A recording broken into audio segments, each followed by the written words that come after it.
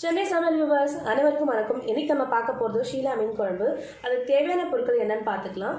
ஷீலா மீன் ஒரு kilo clean பண்ணி வச்சுருக்கேன். வெங்காயம் தக்காளி புளி கருவேப்பிலை வெந்தயம் இதெல்லாம் எடுத்திருக்கேன். உப்பு மிளகாத்தூளை எடுத்திருக்கேன். வாங்க வீடியோக்குள்ளே போகலாம் எப்படி செய்கிறதுன்னு ஸ்டவ் ஆன் பண்ணிக்கிறேன். சட்டியை தூக்கி வைக்கிறேன் சட்டி காஞ்சிருச்சு எண்ணெய் ஊற்றிக்கிறேன் எண்ணெய் நல்லா காஞ்சிருச்சு வெள்ளையும் போட்டுக்கிறேன்.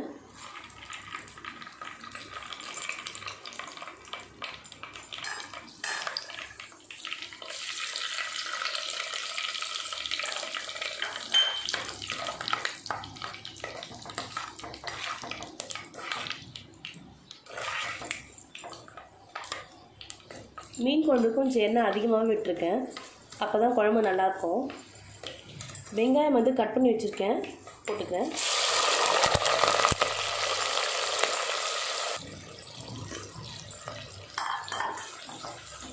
வெங்காயம் நல்லா வதக்கிக்கோங்க.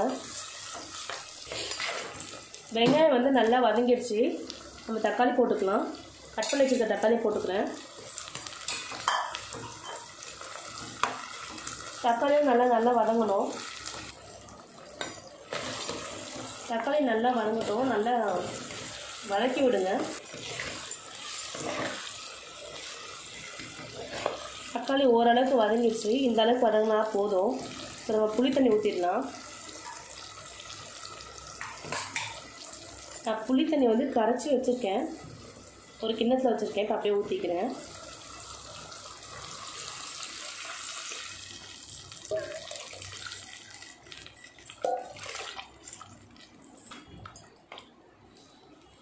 புளி தண்ணி ஊற்றியாச்சு ஊற்றினா உடனே மிளகாத்தூள் போட்டுக்கலாம். நான் இந்த ஸ்பூனில் தான் மெஷர்மெண்ட் எடுத்திருக்கேன். ஒன்று ரெண்டு மூணு நாலு அஞ்சு ஆறு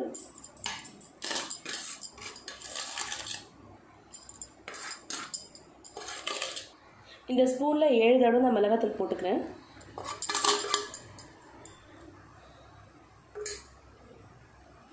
மிளகாத்தூள் போட்டு நல்லா மிக்ஸ் பண்ணி விட்டுக்கலாம். இல்லாட்டினா கட்டியாடும்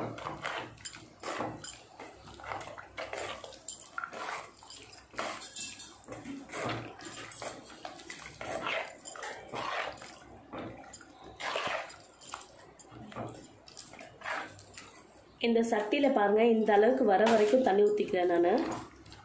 ஒரு மூணு கிளாஸ் தண்ணி ஊற்றிக்கிட்டேன் இது நல்லா கொதிக்கட்டும் இப்போ. நம்ம புளி தண்ணி மிளகாத்தூள்லாம் போட்டாச்சு இப்போ உப்பும் போட்டுடலாம். உப்பு பாருங்கள் இந்த கை அளவுக்கு உப்பு எடுத்துக்கணும். மீன் குழம்புக்கு உப்பு கொஞ்சம் கூடவே தான் போடணும். உப்பு போட்டு நல்லா கிளறி விடுங்க.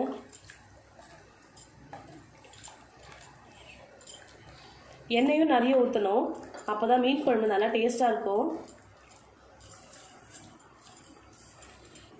நம்ம பிளேட் எடுத்து பார்க்கலாம் இப்போ. பாருங்கள் குழம்பு நல்லா சுண்டிடுச்சு. திக்காகவும் ஆயிடுச்சு. இப்போ நம்ம மீன் போட்டுக்கலாம். கேஸை வந்து ஸ்லோவில் வச்சுக்கோங்க. ஷீலா மீன் போட்டுக்கிறேன்.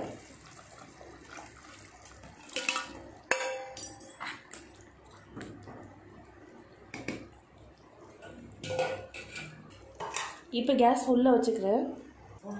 நம்ம கருவேப்பிலை போட்டுடலாம் இப்போ.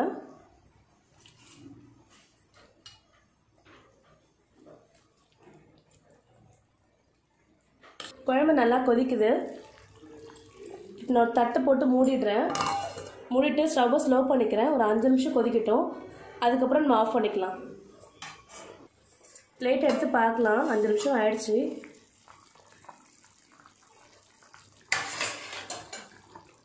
நல்லா கம்ம கம்மன்னு வாசனை வருது.